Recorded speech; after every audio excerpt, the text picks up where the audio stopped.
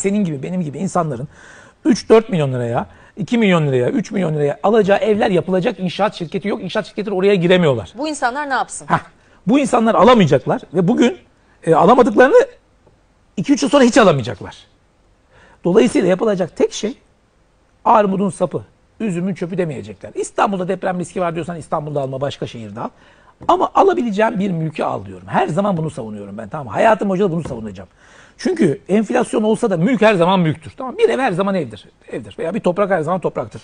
Dolayısıyla senin yapacağın şey şu mesela. Duygu olarak ne yapıyorsun? Mesela sen şimdi diyorsun ki ben abi şeyde oturmak istiyorum. Nerede işte Beşiktaş'ta, Etiler'de ya da bebek. Oturamazsın şu anda alamazsın değil mi?